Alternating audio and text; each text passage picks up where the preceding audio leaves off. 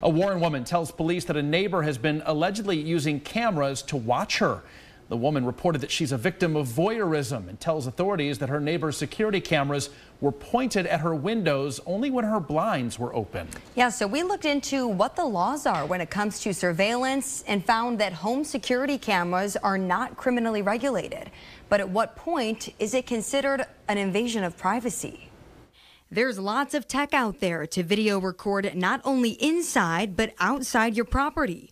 A survey on studyfinds.org reveals one in four Americans admit to using home security cameras to peek at neighbors.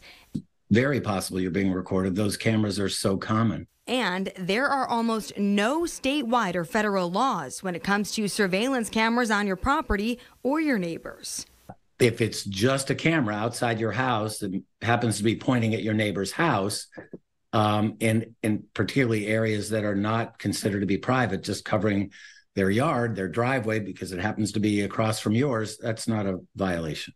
That being said, there's an expectation of privacy in certain situations. If someone is caught purposely recording a neighbor through a bathroom or bedroom window to gain sexual gratification, that's criminal. But it's not typically easy to prove someone is purposely trying to observe you in private. Well, in any case, you have to be able to prove your case. I mean, one thing people can do if they're uncomfortable about the neighbor's camera is approach the neighbor and ask and tell them this is making you uncomfortable. Is there somewhere else you can point that thing?